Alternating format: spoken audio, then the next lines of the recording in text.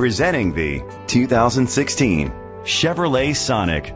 It's powered by front wheel drive, a 1.8 liter four cylinder engine, and an automatic transmission. Great fuel efficiency saves you money by requiring fewer trips to the gas station. The features include an alarm system, keyless entry, independent suspension, brake assist, traction control, stability control, daytime running lights, anti-lock brakes, hill start assist. Inside you'll find Bluetooth connectivity, Sirius XM satellite radio, and auxiliary input, remote start, curtain head airbags, front airbags, side airbags, side impact door beams, low tire pressure warning, child safety locks. Let us put you in the driver's seat today. Call or click to contact us.